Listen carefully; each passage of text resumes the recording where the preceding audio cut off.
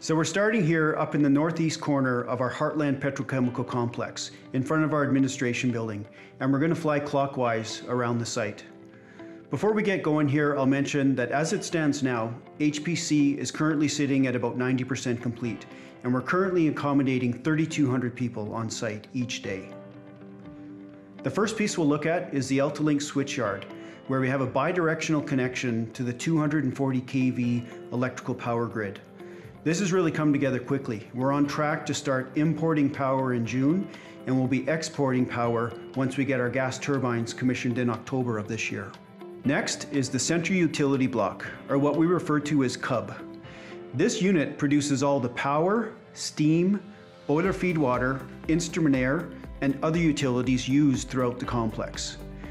It's essentially an on-site cogeneration unit where we burn natural gas to drive turbines to produce power and then we use the heat off the turbine exhaust to produce steam that's used throughout the complex. The Cub unit was sized to meet the HPC steam demand, and as such we generate more power than HPC requires, and under normal operating conditions, we end up exporting about 50 megawatts, or half our generated power, out to the grid. Some of the key components in this area are two Siemens SGT 800 gas turbines, the heat recovery steam generators, and the auxiliary boilers. This lineup of equipment redundancy, along with our bidirectional connection to the electrical grids, provides extremely high reliability for all HPC utilities. Efforts on CUB these days are very much focused on closing out construction and handing systems over to our commissioning and startup teams, or CSU. A lot of the equipment in a facility like this is highly specialized and you have to go out to global experts for things like rotating equipment, large fired heaters, and heat exchangers. But everywhere we could make a good business case for buying locally and utilizing Alberta fabrication shops and trades, we did. In some cases for commodities like vessels, pipe, fabricated steel, and assembled modules, we paid what appeared to be a premium on our upfront cost analysis compared to sourcing these through global markets. However, with efficiency gains we realized by working directly with local steel suppliers like Waiward Steel and the Edmonton area and Grande Prairie mod yards led to huge execution efficiencies and proved to be highly cost effective for us in the end. The first processing unit in the Heartland complex is the propane dehydrogenation or the PDH plant. This is the facility where we take in Alberta propane as feedstock. We remove a hydrogen molecule which creates a double bond to produce propylene. Our plant is strategically located outside of Fort Saskatchewan in what we refer to as the Heartland region, which is a hub for much of the propane that's produced within Alberta, with supply coming from nearby fractionators, including a direct connection to our Inter Pipeline ROF facility. The north end section of the PDH plant is the heart of our UOP Oleflex technology, where you'll see the fired heaters and the reactor section of the plant. This is the area where, at high temperatures, low pressures, and in the presence of a noble metal catalyst, the propane is converted to propylene plus its byproducts. After the reaction section, the product goes through the reactor effluent compressor and then over to the separation system, where the lighter byproducts start to get separated out. The separation system is also what separates the vapor and the liquid sections of the plant. The south end of PDH is mostly the fractionation section, where we have the deethanizer, the PP splitter, and the depropanizer. You may remember seeing the PP splitter when it made the national and even the international news cycles as we transported it from Dacro Industries in southeast Edmonton all the way to site back in January of 2019.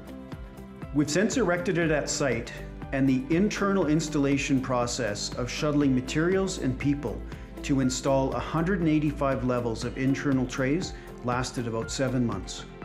Similar to Cub, the focus on PDH now is closing out construction to hand systems over to our CSU teams. There's lots of testing activities happening now, such as loop testing and big aerial cooler motor run-ins.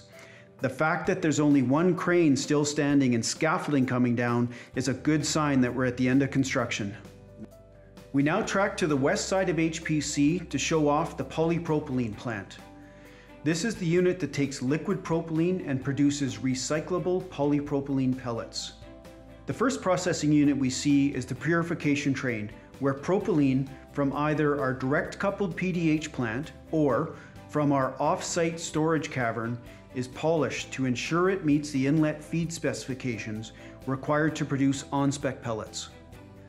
As we move around to the southwest corner of the complex, we see the PP water treatment area, where water is treated after it's used for washing rail cars. This also treats water used to cool pellets as soon as they're cut in the extruder. Flying back now to the north, we highlight polypropylene silos and the rail loading complex, or the RLC. The polypropylene silos are where we can batch produce separate grades of pellets for loading into our rail cars. From the silos, the pellets are transported over to the RLC where we wash and load rail cars. Now you see the PP reactor and the bigger structure adjacent to it is the purge bin, which sits over top of the extruder building, representing the center of the Grace Unipol process. This is where we use a licensed catalyst and specific reaction conditions to turn propylene into resin. The resin feeds down into the extruder where it's heated mixed and formed into pellets through a precision die plate and underwater pelletizer. There's also an additive system that we use to produce different grades of product, ensuring a high level of flexibility to meet customer requirements. Now we'll focus on the glycol coolers. There's a big heat load to be removed from the PP process. In the early stages, we evaluated a couple means of removing this heat, with the two front-running options being the aerial coolers such as this bank of 72 fin fans here, or a cooling water tower. After evaluating cost, operability, reliability, and environmental footprint, we opted to go with the fin fan cooler option, even though it came at a higher capital cost, but it eliminates the need for something in the order of one and a half to two million cubic meters of makeup water that would have had to come from the North Saskatchewan River. Moving further to the north, we see the rail yard and the Canadian Pacific Rail tie-in. Here, we've constructed rail siding with an on-site operational capacity for 330 cars to receive, store, shuttle, clean, and load up to 21 cars daily of various grades of recyclable polypropylene pellets destined for various North American and global markets. The rail yard is complete and fully handed over to operations and ready to start receiving cars. The control center is a very active building where our technical and operations teams are performing function testing on the PDH plant right now, and they're also busy training on the process simulator. The laboratory building is another busy spot. Almost all of the analytical equipment is installed at this point, and the technicians are on site daily commissioning getting ready for startup. It is now fully turned over to operations. In closing, I'd just like to mention the incredible effort that's been put in by everyone involved to learn, manage, and mitigate the COVID health risk over the course of this pandemic that's enabled us to keep pushing ahead and make truly remarkable progress. From our Inter Pipeline triage team to our site management team, all our contractors, and especially all of our workforce who have cleaned, worn masks, physically distanced, and followed all COVID protocols. They've enabled us to push forward and make outstanding progress in the last year through true collaboration, which is something we're all very proud of.